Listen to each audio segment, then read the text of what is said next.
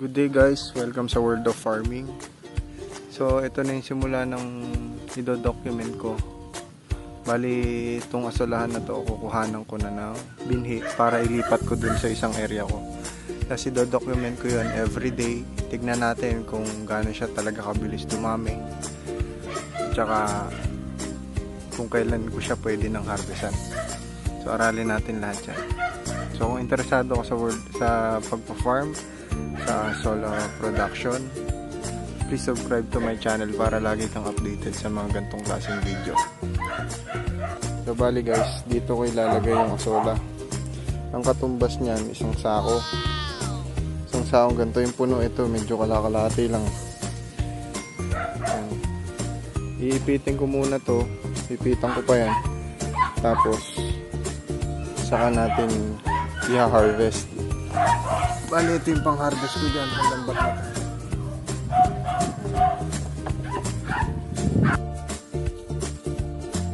So guys, bali harvestin muna natin tong natirang nakaipit dito. Saka natin siya ipitan para mas mapabilis yung pag-harvest. Ginagawa ko yung pag-iipit para magsiksikan yung asola tapos pag sinalok mo, isang salok lang makukuha mo na agad. Kasi pagka kalat-kalat siya, mapapansin nyo dun sa ibang mga nag-aalaga ng asola, sa pag-harvest pa lang, hirap na hirap na sila. Dito sa amin, ganyan yung naisip namin paraan para mas mapabilis yung trabaho. Dito kasi sobrang dami ng pinoproduce namin asola, sobrang dami rin namin mag-consume. Kaya talagang mabilisan lang yung trabaho, hindi pwedeng babagal-bagal.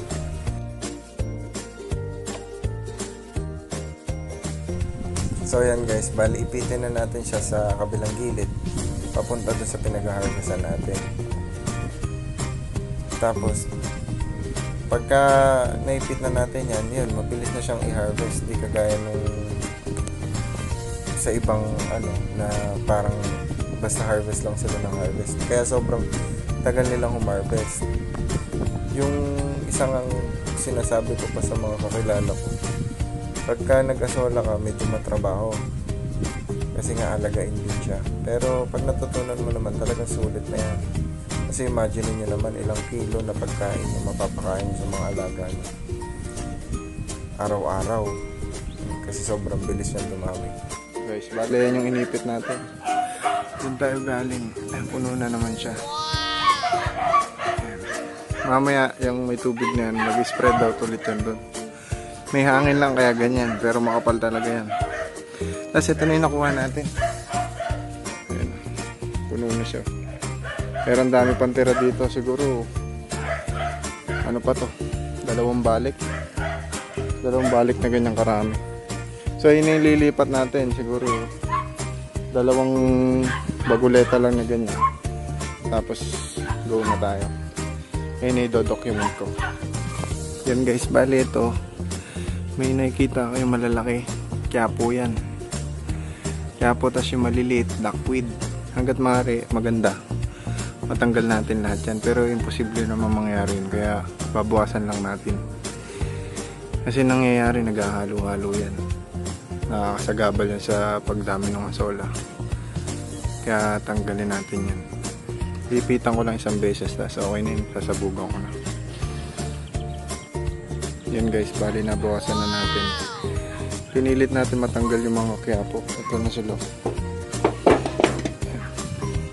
Halo-halo yun may duckweed yung payat.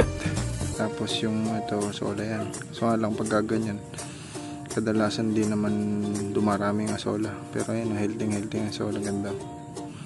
Nga lang di naman siya dadami dahil nga halo-halo sila madalas mas mananalo yung duckweed kaysa sa asola. Kasi ito yung kiyapo. Hindi ko to ano dahil minsan makati to hindi naman lahat pero minsan makati to kaya hindi ko rin advice na hayaan nating dumami to. Kasi salbahe rin dumami to. Pag ito yung nauna dumami kaysa sola napak napakahirap niyang tanggalin kasi mabigat siya kasi malaki. Yun lang guys. Tas ito pwede na natin sabugan so yan guys. Pag magsasabog kayo ang logic lang laging pasa, pakalat. Wag pa pakumpol-kumpol. Kasi pag kumpol-kumpol uh, imbis na kumalat uh, sumabog agad yung asola nahihirapan pa silang sumabog. Baga nahihirapan silang i-cover up yung area. Kaya pilitin natin na kagaya niya no, parang umuulan lang dating mas maganda nga niyan kung paikot nyo sa sabugan kasi nga lang for the sake of video ganyan ko na lang siya ginawa. Kasi mahirap mag video habang nagsasabog ng asola. Kaya ginawa ko sa isang area na lang pero pinilit kong ikalat na ikalat. Para talagang mas mabilis siyang dumami. Yung iba kasi mali din sa pagsasabog niyan.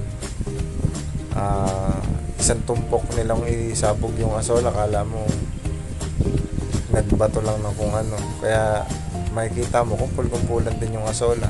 Sa akin maselan ako sa parting pagsasabog dahil gusto ko kalat na kalat talaga. Minsan nga pagka ano, inakalat ko pa talaga ulit yan. Minsan nilulusungan ko pa yung uh, area na yan. Tapos ikakalat ko lang yung asola pagka talagang mali yung bato ko. O kaya sasabugan ko ng tubig para lang maikalat ko siya ng todo. So guys, ayun lang yung isang payo ko sa pag, pag, pagtatanim ng asola. Pilitin nyo talagang gawin yung part na yun. Bali, itong part na to, nagkumpul-kumpul ang mapapansin nyo. Kaya, ipipilit natin i-open yan para kumalat agad. Pagka kasi nagpatong-patong nasa ibabaw, nahirapan nahirapan pumunta sa tubig kaya yun, namamatay. Pag nagsabog kayo pilitin yung kalat na kalat. Para mabilis silang dumami. So bali isang hakot pa tayo. O pa tayong isang hakot.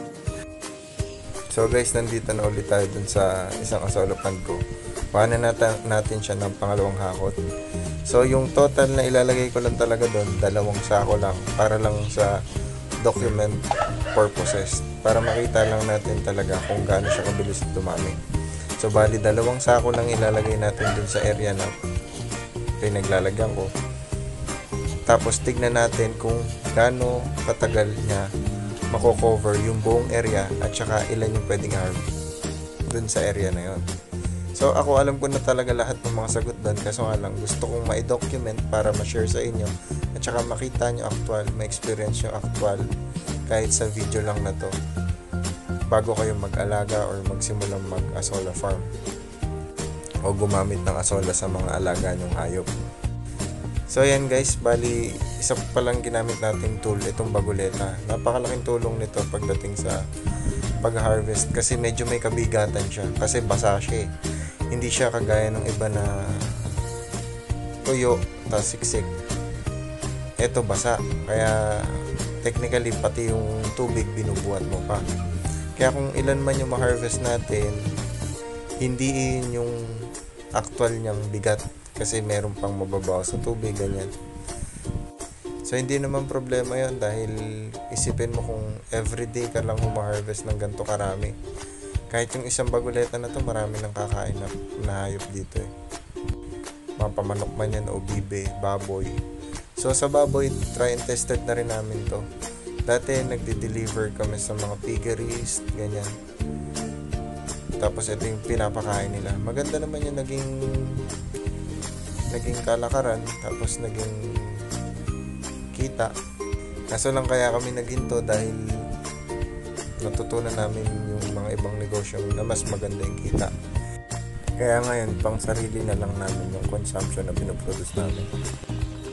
Yan guys, bali pangalawang hakot na natin to. Tingnan nyo inipit ko. Dami pa rin kaya sabi sa inyo hanggang dalawa hanggang tatlong balik. Kaya lang, for the sake of video. Dalawa lang ilalagay natin. So yun yung do-document natin, dalawang sako. Tingnan natin kung ilang araw niyang mapupuno yung isang alot asol fan namin bala dito naman lang kayo magbabato